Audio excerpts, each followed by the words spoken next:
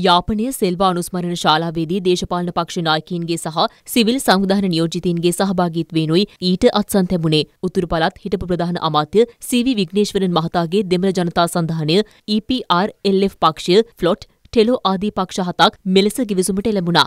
නාම යෝජනා ලබා දීමෙන් පසු පොදු අපේක්ෂකයා නිවේදනය කිරීමට නියමිත බව මේ සඳහා සහභාගී වූ පක්ෂ නියෝජිතීන් ප්‍රකාශ කළා.